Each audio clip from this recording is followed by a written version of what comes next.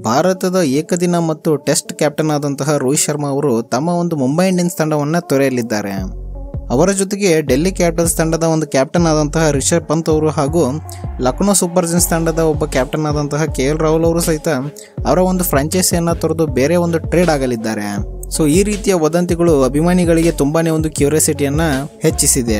ಪ್ರಮುಖ ಪ್ಲೇಯರ್ಸ್ಗಳು ಟ್ರೇಡಿಂಗ್ ಮೂಲಕ ಮತ್ತೊಂದು ಫ್ರಾಂಚೈಸಿಯನ್ನು ಸೇರುತ್ತಾರೆ ಅಂತ ವರದಿಗಳು ಬರ್ತಿವೆ. ಅತ್ತ ಫ್ಯಾನ್ಸ್ಗಳು ಕೂಡ ತಮ್ಮ ಒಂದು ನೆಚ್ಚಿನ ಆಟಗಾರ ಯಾವ ಒಂದು ತಂಡವನ್ನು ಸೇರುತ್ತಾನೆ ಎಂದು ತಿಳಿಯಲು ತುಂಬಾನೇ ಒಂದು ಕುತೂಹಲದಿಂದ ಕಾಯ್ತಿದ್ದಾರೆ.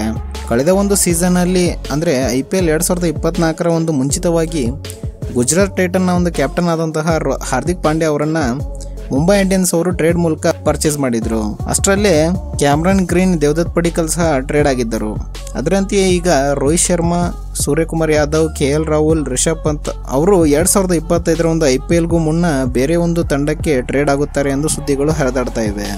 ಆದರೆ ಅದು ಈ ಸೀಸನ್ನಲ್ಲಿ ಸಾಧ್ಯವಾಗಲಿದೆ. ಏಕೆಂದರೆ ಎರಡು ಸಾವಿರದ ಇಪ್ಪತ್ತೈದರ ಒಂದು ಐ ಪಿ ಎಲ್ಗೂ ಮುನ್ನ ಮೆಗಾ ಹರಾಜು ನಡೆಯಲಿದೆ. ಒಂದು ಫ್ರಾಂಚೈಸಿ ಮೂರು ಅಥವಾ ನಾಲ್ಕು ಉಳಿಸಿಕೊಳ್ಳಲು ಅವಕಾಶ ಇರಲಿದೆ. ಉಳಿದ ಆಟಗಾರರನ್ನ ಬಿಡುಗಡೆ ಮಾಡಲೇಬೇಕಾಗುತ್ತದೆ. ಇಲ್ಲಿ ಯಾವುದೇ ಟ್ರೇಡ್ಗೆ ಅವಕಾಶ ಇರುವುದಿಲ್ಲ. ಕೌಂಟೇಬಲ್ ಪ್ಲೇಯರ್ಸ್ನಷ್ಟೇ ಉಳಿಸಿಕೊಳ್ಳಲು ಅವಕಾಶ ಇರುವ ಕಾರಣ ಉಳಿದ ಆಟಗಾರರು ಮೆಗಾ ಹರಾಜಿಗೆ ಪ್ರವೇಶಿಸಲಿದ್ದಾರೆ. ಹರಾಜಿಗೆ ಬರುವ ಆಟಗಾರರ ಮೇಲೆ ಫ್ರಾಂಚೈಸಿಗಳು ಎಷ್ಟು ಬೇಕಾದರೂ ಬಿಡ್ ಮಾಡಬಹುದು. ಹರಾಜಿನಲ್ಲಿ ಯಾವ ಫ್ರಾಂಚೈಸಿ ಹೆಚ್ಚು ಬಿಡ್ ಮಾಡುತ್ತದೆಯೋ ಆ ತಂಡವನ್ನು ಆಟಗಾರ ಸೇರಲಿದ್ದಾರೆ. ಹಾಗಾದರೆ ನಿಮ್ಮ ಒಂದು ನೆಚ್ಚಿನ ಆಟಗಾರ ಯಾವ ಒಂದು ತಂಡವನ್ನು ಸೇರಬೇಕು ಅನ್ನೋದನ್ನು ನಮಗೆ ಕಾಮೆಂಟ್ ಮೂಲಕ ತಿಳಿಸಿ.